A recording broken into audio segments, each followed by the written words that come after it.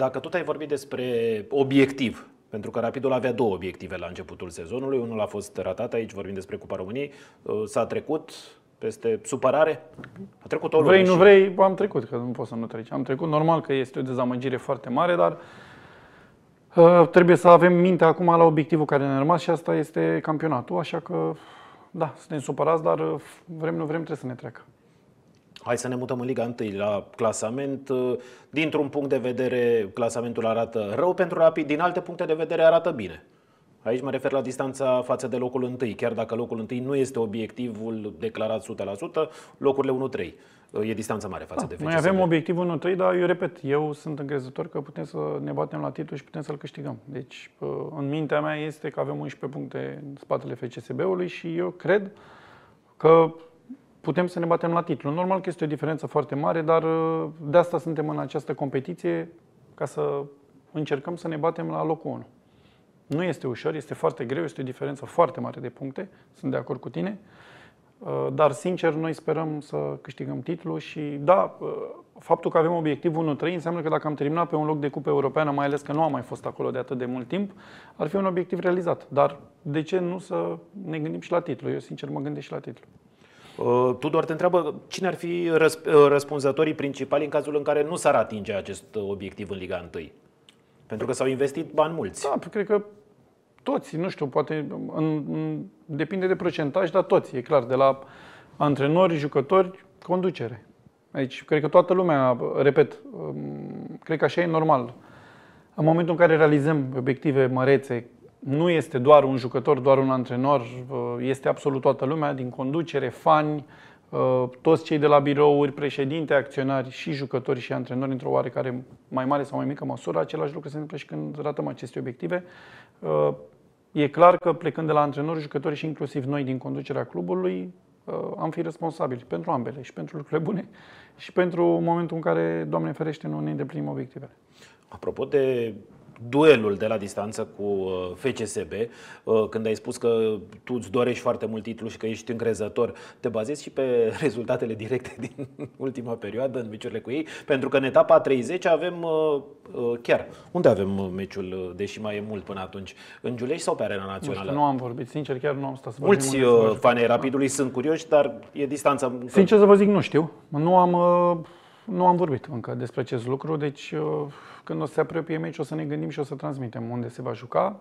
Uh, normal că mă gândesc și la meciul direct, dar totuși, după cum am observat și anul trecut, am câștigat de mai multe ori cu ei, dar uh, cred că important nu este doar meciul direct, important este tot parcursul și meciul direct sunt 3 puncte, Totuși, noi suntem la 11 puncte în spate, trebuie să jucăm și să câștigăm majoritatea meciurilor de acum încolo ca să ne apropiem și să intrăm în play-off la o distanță cât mai mică față de FCSB. Și să se mai încurce. Bine, toți ne vom mai încurca, asta e clar. Nimeni, chiar nu cred că ultimele 8 etape, chiar cât mi-aș dori eu, nu cred că Rapid sau FCSB va avea 8 victorii, dar trebuie să avem cât mai multe victorii. Dacă se poate 8 ar fi excepțional, ar fi senzațional, dar e clar trebuie să intrăm la un și vrem să intrăm cu un număr de puncte cât mai mic în spatele FCSB-ului. În câteva etape o să fie un duel uh, foarte interesant uh, CFR Cluj Rapid.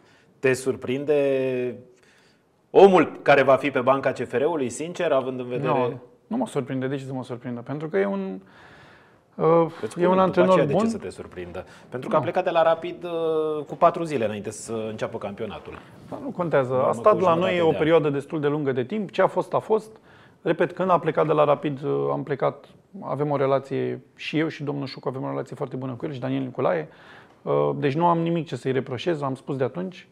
Uh, și nu mă surprinde pentru că este un antrenor bun, este un antrenor cu nume, este un antrenor care, mai mult ca sigur, nu mă surprinde că și-a găsit o echipă puternică în România care se bate la tot așa, la, poate la titlu sau la primele trei locuri. Deci nu mă surprinde.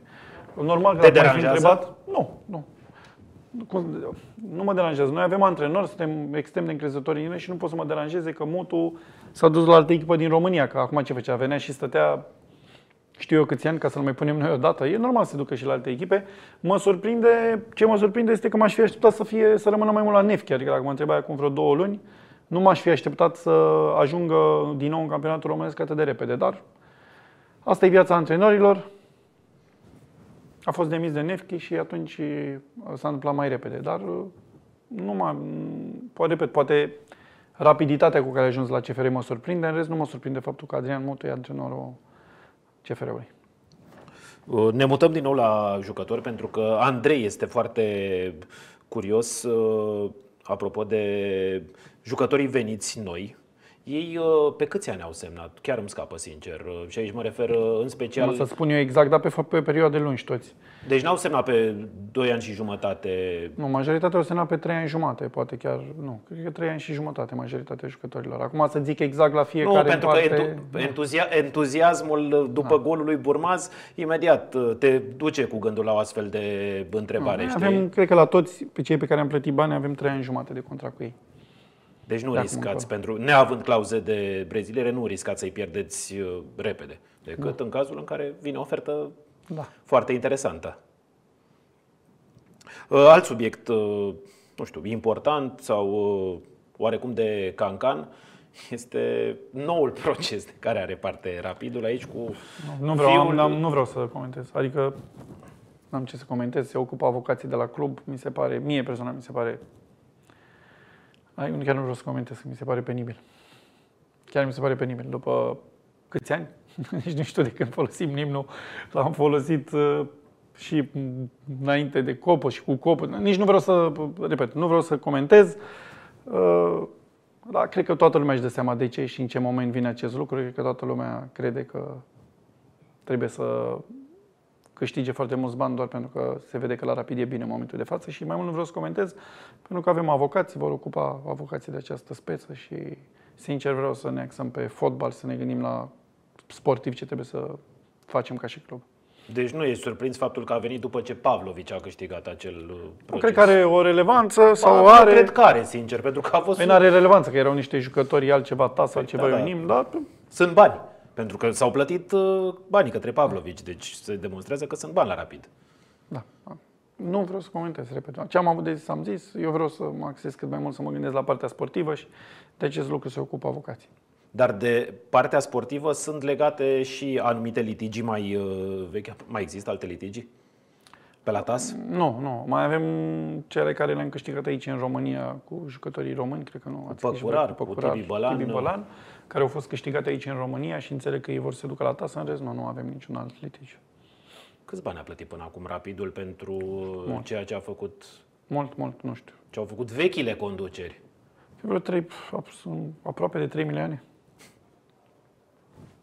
Asta e, repet. Uh, Suntem aici ca să susținem Rapidul și să fie un club așa cum ni l-am dorit și să nu se mai poată întâmpla niciodată ce s-a întâmplat. Am spus-o de atâtea ori, este total nedrept ce s-a întâmplat și faptul că noi plătim atâția bani uh, cu 3 milioane, gândiți-vă că putem să-i băgăm în transferuri pe toți. Dar uh, nu vreau să mai comentez. A trecut, a fost un hop. Suntem, cred că, probabil în cea mai bună perioadă a Rapidului din punct de vedere financiar și ca stabilitate și vrem să ajungă cel mai important club din România. Asta e cel mai important. În cât timp? Păi noi sperăm că de anul ăsta, nu? Că dacă ne batem la titlu și le câștigăm, poate chiar de anul ăsta. Bugetul pe sezonul viitor va fi mai mare decât uh, cel din actualul sezon? Da, uh, sigur va fi mai mare, normal cu condiția să ne îndeplinim obiectivul.